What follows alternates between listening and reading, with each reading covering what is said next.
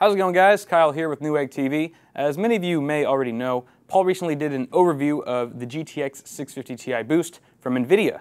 Now, uh, for those of you unfamiliar with that card, or if uh, you missed, happened to miss Paul's video earlier, uh, it's essentially NVIDIA's solution to uh, getting a price point in between the 650 Ti and the GTX 660. But essentially, the, the performance that the 650 Ti Boost offers is actually closer to the 660 than it is to the normal uh, 650 Ti. Uh, so with that said, it's very exciting stuff. The specs on this guy uh, are all mentioned in Paul's video, but just to briefly recap, uh, there's an increased core clock frequency. It also has GPU Boost 1.0 now, and uh, above all else is the SLI compatibility. Uh, so you can actually do two-way SLI with the 650 Ti Boost, which is what I'm going to be showing you in the benchmarks today. So uh, without further ado, why don't we take a look at the hardware that I'm using to test these two cards. So to run these benchmarks, I'm actually using the system that I personally use at home for a more real-world uh, gaming performance test, if you will. Uh, so that said, it's basically all rocking inside of a 600T from Corsair, and I am uh, using a 2600K from Intel clocked at 4400 megahertz, that is overclocked. Got an H100 cooling that. Uh, 16 gigabytes of memory, clocked at 1600 megatransfers per second.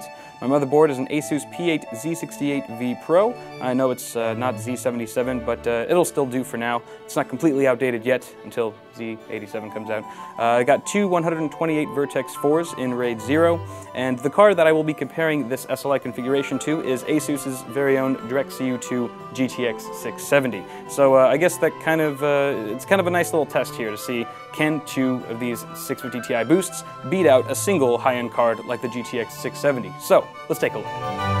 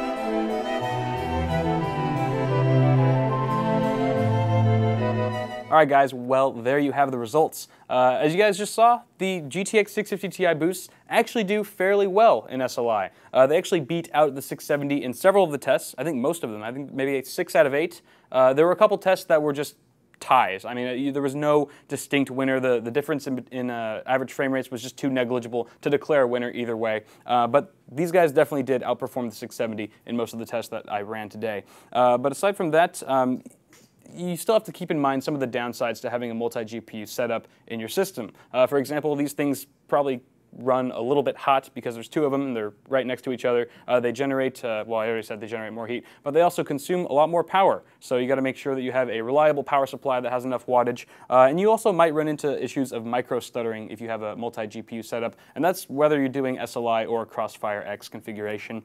Uh, and essentially not every game is optimized for uh, multi-card setup. So sometimes you might see really good performance in one game, but not such great performance in another, uh, just depending on how those drivers are optimized. But there you guys have the facts. That is pretty much all I have to share about the GTX 650 Ti Boost in two-way SLI. Thank you all for watching. I'm Kyle with Newegg TV, and if you enjoyed this video and want to see more tech videos, please subscribe to our Newegg YouTube channel. Thanks a lot. I'll see you guys next time.